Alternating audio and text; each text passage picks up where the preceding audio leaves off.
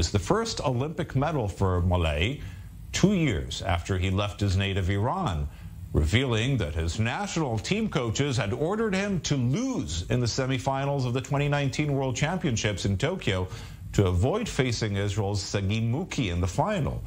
Mollaei subsequently moved to Germany and then acquired Mongolian citizenship. He told Israeli Sports Channel that he was thankful for the support he received from Israel over the years.